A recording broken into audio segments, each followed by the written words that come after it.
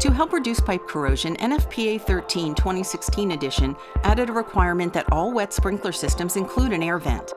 AGF has developed the PURGEnVENT product line to enable sprinkler systems to meet or exceed the new code requirements. Our most economical solution is the 7910 MAV manual air venting valve.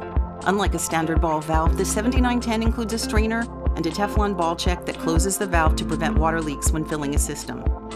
The device reduces labor costs because a second person is not required to monitor the valve while the system is filling.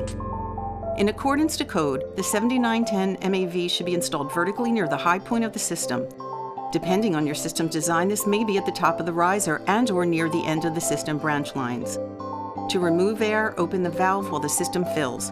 When the system is operational, the 7910 should remain closed.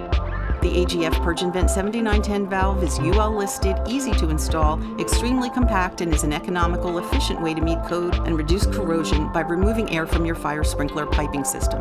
AGF, reliability, versatility, code compatibility.